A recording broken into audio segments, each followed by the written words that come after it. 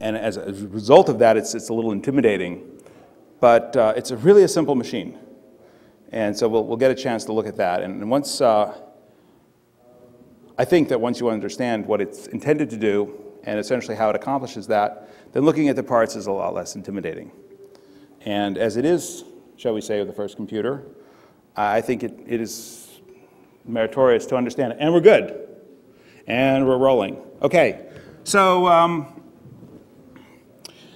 1943. Nikola Tesla is dead. He dies cold and alone in his hotel room, forgotten by a world he largely created. Uh, electricity emancipates us from work, from the dark, and uh, radio communication has brought the world together. Unfortunately, it brought it together in a war. And uh, in 1943, uh, he, he, he's forgotten, he's memorialized briefly, not by the US as much as by the Croats. Um, but this is really one of the first computers that was not built in its own time, but Carl Babbage um, puts together this notion of a computing device. Uh, it's a beautiful machine. We, we got to see it at the, uh, the London Museum. Unfortunately, it's covered with glass and it's not running, but it's, uh, it's really elegant and I have no idea how it works. Um, in 1926, and these guys will appear twice again in the story, uh, this is the only picture I submitted with the talk. This is a tube counter. It can count to, I'm not even sure, maybe eight, maybe four. Uh, but it is used for counting radioactive events. And essentially, it's hooked up to a Geiger counter. And it, uh, it becomes important because of the nuclear activities of the time, which reminds us that in 1943, the hot items were nuclear energy and crypt, uh, cryptanalysis, and to some extent computing. These were sort of the three killer apps of the day. this guy, Wynn-Williams, invents the electronic counter in 1926. So Zuse uh, is working in Germany at the time, uh, it's a little before the war, and he comes up with this mechanical device, which should remind you of Carl Babbage's, uh, sorry, Babbage's uh, computing device. It's fairly mechanical. You have to interject much, much louder than that. Yes. Charles Babbage's differential engine. Yes, thank For you. For 200 points. so, so Carl Zuse is working on this machine, and uh, it, it's a little electromechanical. It's got some um, mechanical components, I, I suspect it's rather slow. Um, and it's an interesting parallel because Germany has one of the world's leading computer scientists at the time. They don't create a structure in which computers and crypto cryptography come together. Uh, Zuse spends much of the war essentially living in his parents' basement. Now, as a, as a a continuing tradition to this day. So anybody resemble that remark? Bueller, Bueller, yeah, okay. So the, uh, the Enigma machine, right, is introduced um, by a corp, uh, corporate company in Germany for bank transfers, et cetera, using teletype or what have you. Um, before the war, it's a little bit simpler than shown here. Uh, it doesn't have the, uh, the Steckerbrett, which is the business sort of in, in the front there. Um, and, and the Polish crypto team, now the Poles are rather suspicious of the Germans. The Germans have made no, um, no secret of their disdain for the Poles uh, during this period. And uh, the Poles, being suspicious, and rightly so, as we see in history, are keeping a close eye on their cryptography, and they turn out to be very bright. They make a very critical decision here, and I think historians can't uh, underscore this enough, that it's the Polish team that, first of all, figure out the Enigma machine, figure out how to break it, uh, figure out the wheel orders, and monitor the changes as it goes from a commercial device to a military device. The complexity increasing like 19 million times. It's, the complexity of the Steckerbrett is very broad. Now, it doesn't rotate, it doesn't move, um, and these all have consequences, but the Poles get off, um, get us going. Now, it's important to computers to understand that what the Poles did was different than what the Germans did. and that is that they built a machine to solve cryptography, and it's not clear that that had been done before. There are various little wheels that, are, that allow cryptographers to look at, at different alignments of different key scripts and their different paper methods and their hole punches and different mechanical ways to manipulate ciphers before then, but it's not clear, and GMARC can affirm that, that there's no machine to, to, to solve the, the, cryptography. The, the, the, Poles broke the original Enigma um, using nothing more than graph paper and intuition. And when World War II started and they all escaped to Britain, they came with their break of the Enigma and went to the British. They were hidden from view for a number of reasons, including the fact that one of them went back to Poland after the war, and to help keep him safe, it was never mentioned what all he did in cryptanalysis in the war because there was fears that the Russians would then send him off to a gulag or, you know, chain him to a desk literally to make him do cryptanalysis. Hmm. So the Polish, the Polish contributions to Enigma cryptanalysis did not come out until after they were all dead, and now the modern histories have it, and there's a very nice memorial to them at Bletchley Park. Right. But you probably have never heard about them because that was intentional. So the distinction I wanted to, to, emphasize is that they built a machine. It was a small machine. It would have fit in this corner of the table. It had maybe three of these wheels that you see here on top of it and a hand crank. Um, but it spun the rotors and it ran an electronic test. And it was an upgrade from the graph paper. The graph paper is a very interesting thing. And uh, I might have an insight into how it works, but I'd like to hear if you know how it works. It's, it's a little baffling. There doesn't seem to be a lot of documentation on the graph there, paper. There isn't. Um, I have some thoughts on that. So this is uh, Enigma machine. Um, there are some weaknesses of the Enigma machine. Does anybody know what the weaknesses are?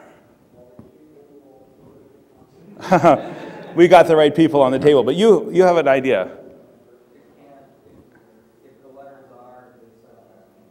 Right, right. That, that's really the, the, the uh, Achilles heel of the Enigma machine. It's a, it's a folded machine in order to get more complexity in a smaller box. And if you look at the American machines at the same time, they're literally four times the size of, the, of these machines.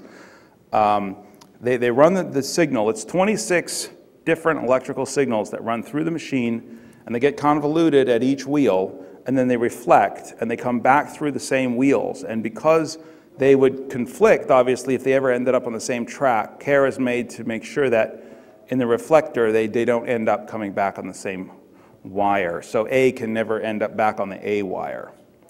Um, and as a consequence of that, the one thing you know for dead sure uh, when you're doing a comparison is that if you got an E in the crypt text, you don't have an E in the plain text, and vice versa. The entire bomb and everything they did at, at Bletchley Park related to the Enigma is largely predicated on this, just this one fact alone. So typical way to break the Enigma is to take the weather report in the morning and assume that the word weather is somewhere in the first half dozen or dozen characters and you slide it along until you find a place in which none of the characters of weather report, right, co coincide with the crypt text. And once you find a place where those 12 characters can fit without colliding, then you run a series of tests to see if you can figure out what settings on the machine may have produced that, and you get closer and closer, and, and this worked time and time again. They had some other clues, they had code books that might get them started for periods of time and other things. Yeah, think giant brute force attempt with a little bit of a crib. You got a little bit of a head start, but you're still having to brute force a solution. There's no one elegant solution that just drops out. Yeah, I doubt that it was fully brute force. There's 77 bits of, of entropy oh, yeah. in the machine. They never got close on a brute force. They had clues. Right. There's, there's also they would send the, they would send a three-letter setting and they would duplicate it. So it would be like ZBS, ZBS. And that was also a crib, which means, you know, a shortcut that they would use because the first six letters were always three letters duplicated. Right. And it turned out that weather broadcast, I recall, the guy's girlfriend's name was Ava, and it was always using EVA, EVA. He never seemed to change his initial setting, which gave another little bit of hook into that poor guy up in up north sending the freezing weather. Es ist kalt, sehr kalt. Heute ist also kalt. You know, it's always cold up there. So there were, there were a variety of these things, right? These were called SILIs, S-C-I-L, which I think, uh, if we follow it back, literally is the abbreviation of the girlfriend. Um, but all these, these little um, peculiarities of the different senders, some were lazy. They would always pick letters from like the left-hand side of the machine, or they would always pick like three keys in a row. And so they, they didn't have to look through all the key space. They had these patterns they could check. Um, one guy was so lazy, and they figured that he was probably smoking a cigarette uh, because he typed the letter D just endlessly. The entire cryptext, when, when uh, recovered at Bletchley Park, Turing was looking over the shoulder of some guy, and he just noticed, as I guess he was a little obsessive this way, just noticed there was not one D in the entire um, cryptext. And it, it, it, he painted this picture in his mind of a guy who's smoking uh, and using one finger to just pound out characters, right? Um, so th that series was immediately recovered in full, and it was so clean they were able to recover the wheel order of a new wheel that had been introduced. There's about four or five times during the war when the, when the Germans make the machine slightly more complicated or issue some change that upsets them. For example, they stopped doing this business with the three, uh, the three messages at some point, and so they moved on to other things. But the point is, I guess, that they kept really close track of the SecOps, right, which were bad. Um, and, they, and they had this one cryptographic weakness, which was the, the same character twice. There are other cryptographic weaknesses in the Enigma machine which we um, exploited last year in our test. It's worth mentioning because it's important to understand when we get to the end of this talk how this period of time shapes the modern cryptographic devices. So I'll mention it. There are 26 channels which we could think of as 26 bits if you like. Um, the problem with these 26 channels is that they're not in any way interconnected, even though they appear to be. Um, at the Steckerbrett, for example, you can take the, uh, the crypttext coming in, if you're decrypting it, right? You can take the crypttext and you can analyze only the C character or only the L character or any, pick any character, right? If you analyze the result of that one character, you will get an alphabet.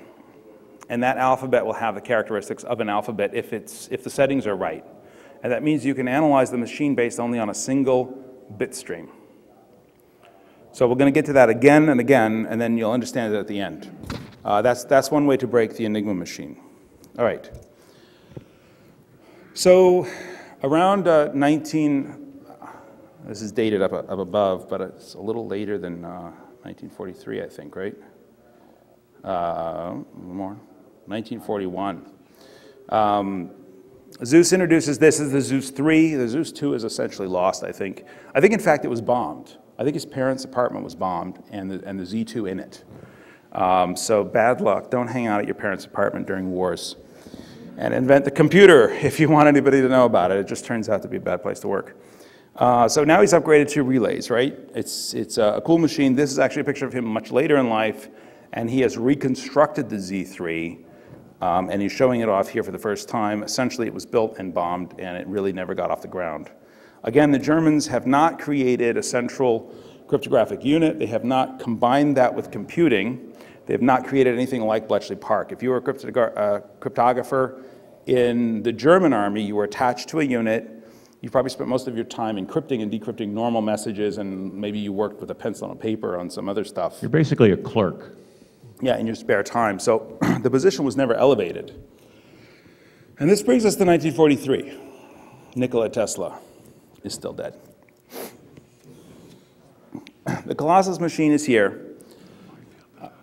Um, and we'll, we're going to build back into this again, but I want to start thinking about what this machine does. It, um, it's built on the, it, it, it deciphers the Lorentz cipher. Fundamentally different than the Enigma cipher. The Enigma cipher has one wire for every letter in the alphabet, 26. The Lorentz machine has five wires and it's binary. Those five wires correspond to a binary sequence. Every letter is a combination of the wires and not a single wire. Uh, we've made a massive jump from um, a very primitive electronic device to a, a proper digital encoding. The Baudot system, from which we now get the baud rate, for example, um, is in place. And there are still places where the five-bit paper tapes that were used for this are still in use. They're the very same thing, and it really is a true binary machine because they're using a pseudo-random number generator to XOR a key stream onto the ciphertext, onto the plain text, and punch it out on a paper tape. If This is in many ways a completely modern stream cipher. It just happens to be using five bits for characters. If anybody were here for ShmooCon 4, remember those yellow badges that were five bits wide? That was basically an emulation of the paper tape. So the, uh, this is a picture of the ENIAC machine. It doesn't have great pictures. Um, it, like the, like the tube uh, counter in 1926, it's used primarily to, uh, involved in the nuclear uh, age. I think it's part of the Manhattan Project. Now this is fun. This is not related to the war because it appears just after the war, but this is a Decatron tube. Um, it's a single tube that emulates the counter because it has some 10 poles inside of it. And each time you pulse it, the, uh, the connection, the ionization moves from one pole to another uh, because of the mechanical configuration of the two devices. It's very creative. And they built this entire computer using just this one counter method, which is a lot of fun because you can see uh, on the, on the right-hand side or on the left-hand side here, you can see the registers, you can see the memory, you can see the memory moved into the registers, and then you the logic is actually conducted in relays. But it's a very fun computer to watch because it's transparent, and they're using it now for education in the uh, TMOC, the um, Museum of Computing there in, uh, in, in England. It's fun. You've seen it, right? The, the Witch?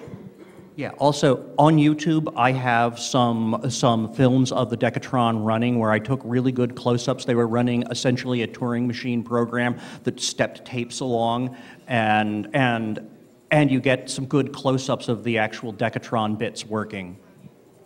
So the, the Decatron really is the, uh, is the highlight of the tube era, in my opinion. I doubt there's any, any uh, difference of opinion on that, is, is the most awesome tube. All right, Lorentz cipher, we talked about the five bits, right? There's an example of the tape. You can see that there's three on the top and two on the bottom, and then the center line is the clock. Uh, initially, that had a sprocket, a mechanical sprocket in it. It probably has a sprocket when it's run. Um, in all likelihood, the tape comes out of the machine with a center, with that little small holes already punched in it. Um, the- the picture of the machine is the machine that makes the ciphers. It's, I think it's also the same machine that, that decrypts uh, under usual, uh, under, under usual work. So the, uh, the picture on the right, I think, was actually developed by the Polas. No, no, not, not, by the Polas, sorry. This machine was characterized in, at Bletchley Park. Um, I think it was um, Newman Maxwell who did a lot of their work on, on, no? Not sure. Yeah, yeah. The, the Newmanry was the name of the division uh, that was largely responsible. Uh, there was also another character, Tunney. Yeah, Tunny was the code name. Right. Uh, they called it Fish. The, the Germans called it Fish, and it got the code name Tunny in uh, at Bletchley Park. So they, uh, they, they had these dots. Now, it was very difficult to, to come up with this diagram here and to understand it. And basically, what they did is they took the dots and they laid them out sort of like in rows of 50. And then they laid them out in rows of 49, and then laid them out in rows of 48, and then they laid them out in rows of 47. And they realized that there were certain ways that you could lay them out. And they would, they would produce um, non-random summations, right? And there were certain ways you could lay them out and they wouldn't. And then once they had the first, the, the high number, basically around 48 or 49, I forget what, um, it's probably on here, right? Like the high number is 41. So once they, they had, had laid them out in 41, they realized that the other wheels were probably relative primes. So there's only a certain number of relative primes that are less than 41, and they were able from that to work out what these primary wheels were. Uh, so there's primary wheels and secondary wheels. Secondary wheels don't always move. For the sake of, of cryptanalysis at Bletchley Park, the second wheels never move. In other words, the only bits of data that they were able to use at Bletchley Park are the bits of data in which the second wheel doesn't move. Now, it moves about three times out of five. So for every five characters, three of them are lost, and two of them have the characteristic in that the second wheel is shall we say, not invoked. It doesn't move. Um, that, that was a critical flaw in the, in the, in the machine because it allowed, allowed them to split, the, to split the cipher sort of this way, right? Which is to say, separate the first wheel from the second set of wheels. So they split the cipher uh, in, in that coordinate. Now, in addition to that, again, these are bit streams. There are three on top, two on the bottom. They were able to analyze the bit streams independently. Again, similar to the Enigma, in which the bit streams are not co-combined. The bit streams are able to be analyzed independently. The, the basic understanding, the, the basic way of, of, looking at these is, is with the delta, what they called the not not at the time, which we would call an XOR now, which is, is this bit like the other bit? And it was always, is the current bit like the previous bit? You could say the current byte like the previous byte, and sometimes they looked at the entire byte, and we're going to call it a five-bit byte. Um, but usually they would take two wheels. Um, they would take two wheels at a time and just look at those two at that pair, and they would count every time they were the same. Every time they were the same, or XOR was one, uh, they, would, they would index a counter, and every time it was different, they would not index the counter.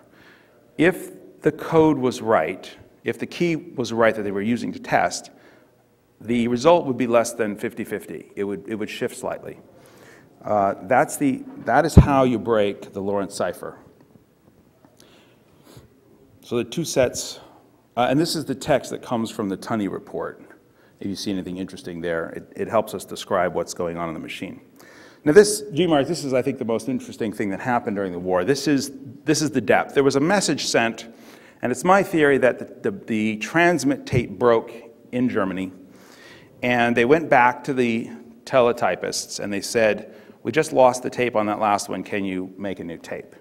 And the teletypist says, yeah, we'll make a new tape. So they typed up a new tape. And in doing so, they didn't change the message settings.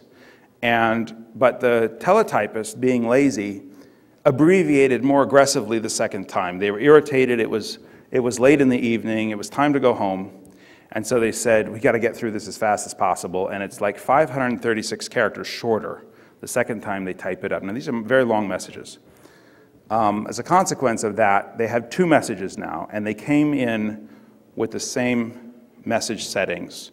This is, uh, this is the holy grail, shall we say, of, of decryption, especially at that time. So what you do is, it's kind of like a zipper. You start at the top, and you make a guess as to what the key would be, but you've got two messages. And you guess that the key might be an A, let's say, or the representation of an A in that digital form. And so that key results in two characters, and you put one, the, the one character on the left, the one character on the right, and then you work it down to the next one. And you, you pick a random one, say B. But you have to try a lot of options. Like you have to try A, B, C, and D for the first character, and then you have to go to the second character and try A, B, C, and D for all of those. So it recurses very quickly, but you can sort it out. And you can make some guesses and educated guesses, and eventually, in a couple of days of doing this, you'll get like the first word. And you'll find a, key, a series of keys that make sense on both sides. And once you have that, then every letter is just a simple 26 options, right? It's 26 tries for the next letter. And you go on like that, and you, and you work out the key that makes both sides make sense. And often it's the same word, like sometimes it'll be shifted, like this, and you'll know exactly what the word will be because you had it on the left side earlier, and that will tell you what the new word will be, and it gets very quick for times, and then you'll lose it for a while. You'll scratch your head, and then you'll find it again, and that's how you work out depths. Is that close enough? That, that, that's, that's close enough. Uh, the, the, the important thing to realize here is that when you have one of these, if you know the plain text, you can get the key stream just by XORing it onto the ciphertext.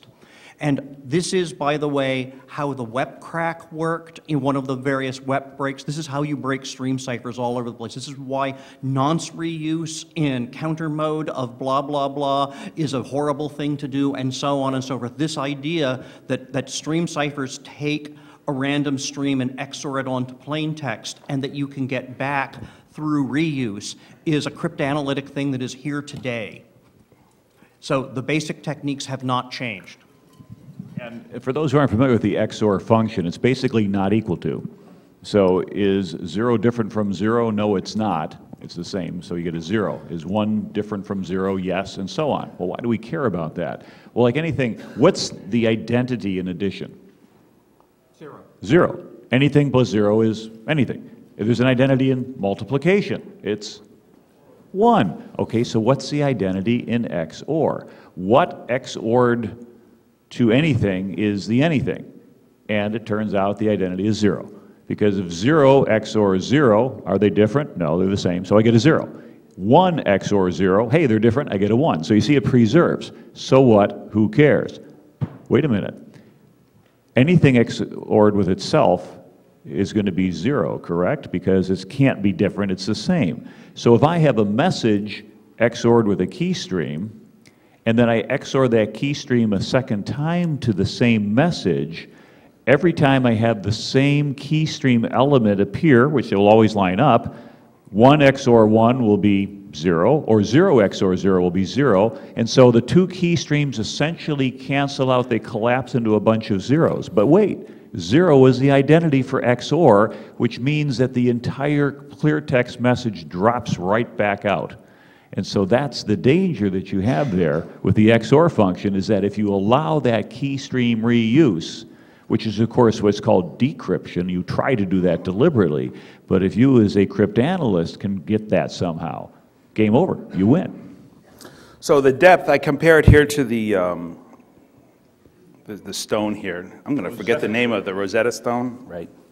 That's what it's like to be up on stage at 10 o'clock in the morning. I don't know why they do this, right? This should start at 10 o'clock at night. Thanks, thanks. So they had this depth, they had a key, it was long, about 4,000 characters long. What do they do with it? So they, they, they said we can take this one key from this one message and we can play it over any message that's sent on this machine, it doesn't matter what the message setting is, it doesn't matter what the, what the tabs are, um, they can use the same key and play it over a message. And what will happen is that when it's synchronized, when the key is synchronized with a message, the result will be something other than random noise. The, the count of the, of the digits, one and the digit zero, will, will move from 50% and they'll move into something like 53% or 57%, right?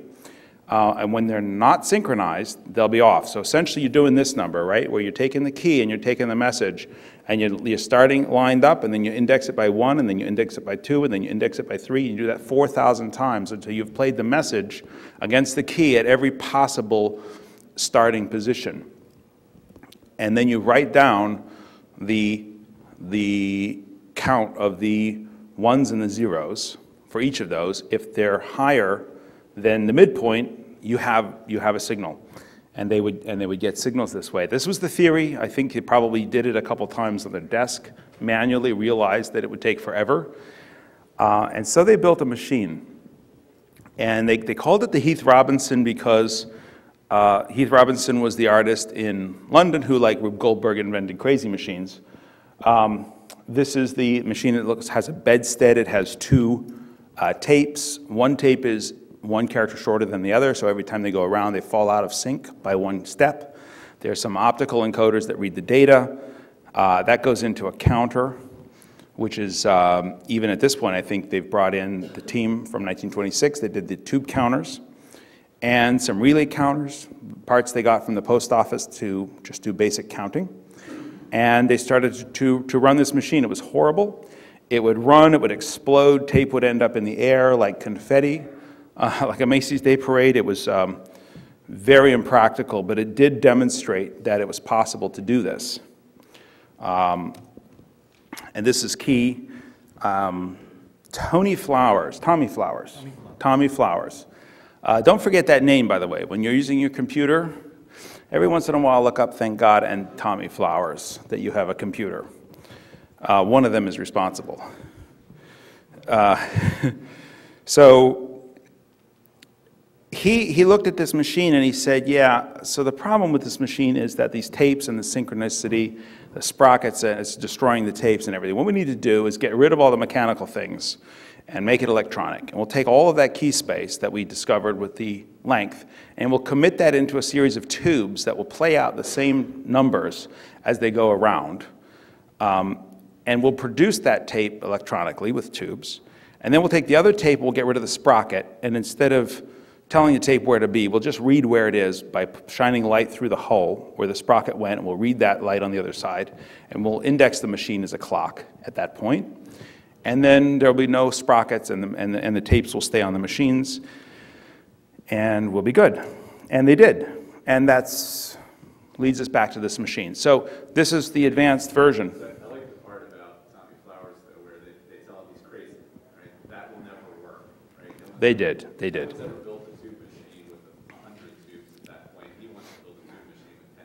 So Robert doesn't have a microphone, so I'm going to stop him right there. But what he's saying is, it's true that, that Tommy goes back to the group. I think uh, Max Newman, Maxwell, and others, uh, Turing maybe there as well. And he, he proposes this, that we're going to build this massive machine, we're going to have all the tubes that it takes to make these 4,000 characters show up at the right time. And, and they say, yeah, I don't think so. That, that sounds, sounds absurd. Uh, one of the problems at the time was that tubes were considered to be unreliable. Everybody had a tube radio, and everybody's tube radio was broken more often than it was fixed.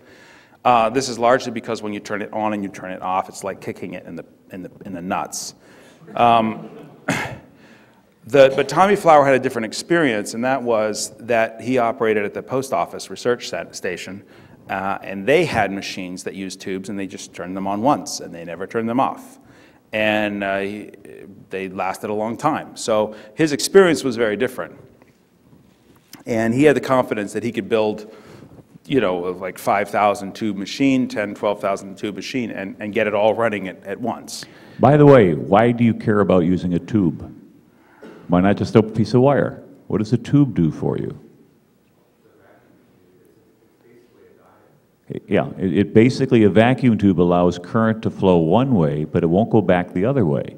And that's very important because now you can have a logic gate or the equivalent. You can make things move forward. Uh, They're very fast, right? So the alternatives were relays at the time.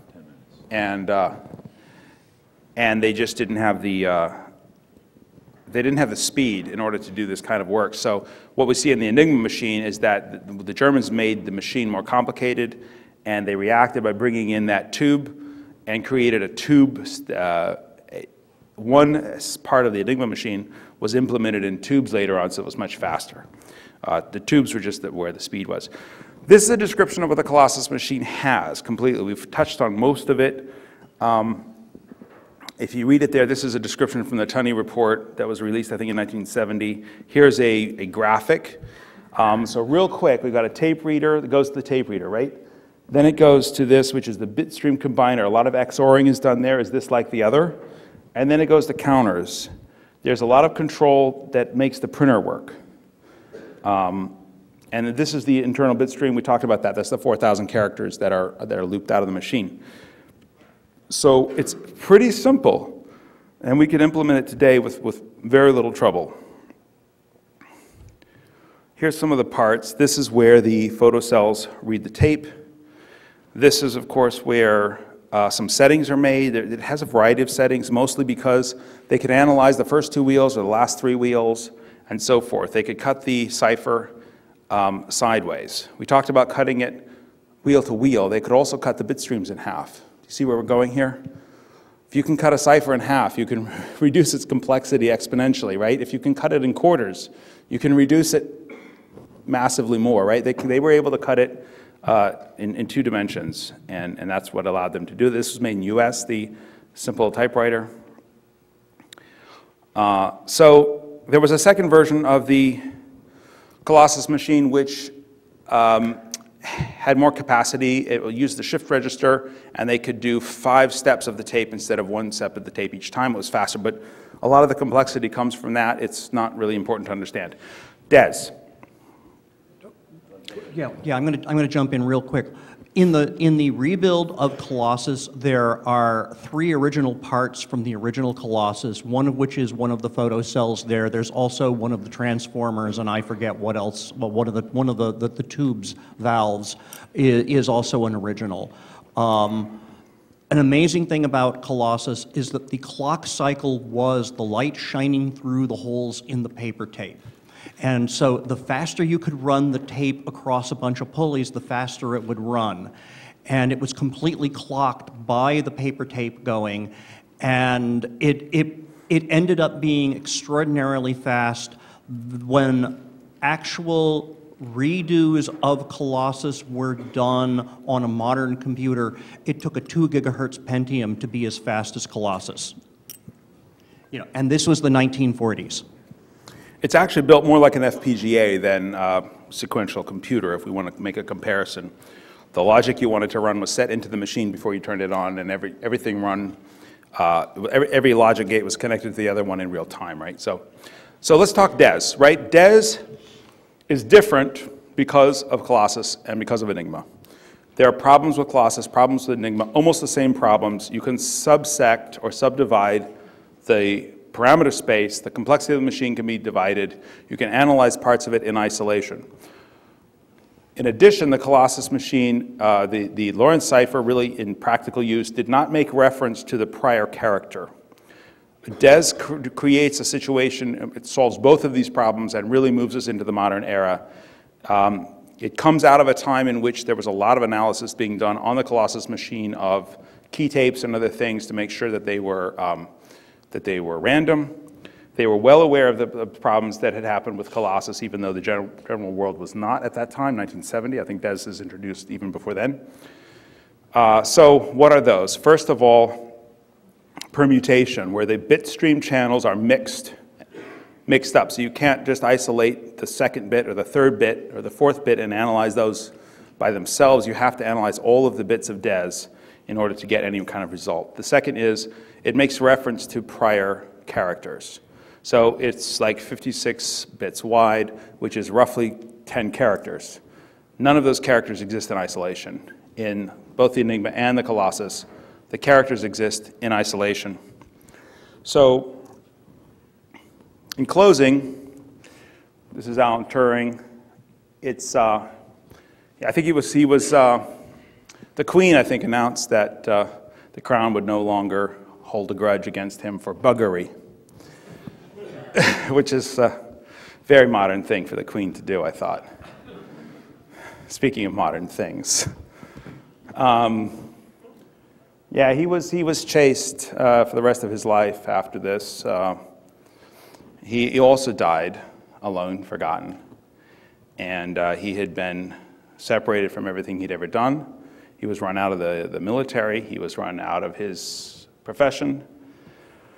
And uh, he, he um, was castrated chemically uh, after his uh, trial for buggery, and, uh, which means, by the way, Bulgarian, so it's a little bit of a racist twist, if you will. Um, there's, a, there's a closing scene in The Cat's Cradle when the lead character dies, and he, uh, he takes a bit of the, the ice nine and touches it to his lips, and he puts his finger up. And Alan Turing dies, I think, on his back. Um, and, and by the table is an apple that has been soaked in, uh, I believe it's cyanide? Uh, I think it's cyanide, yeah. About three ounces of which are found in his stomach.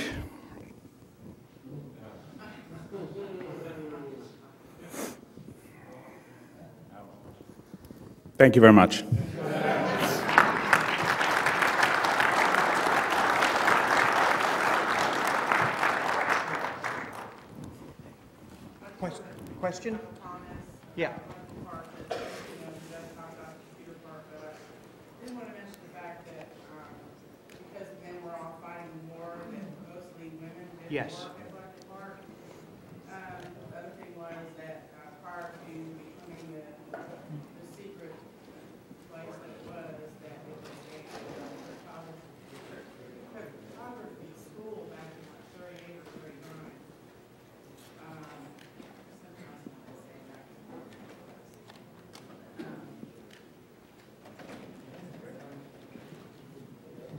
So there were two comments there.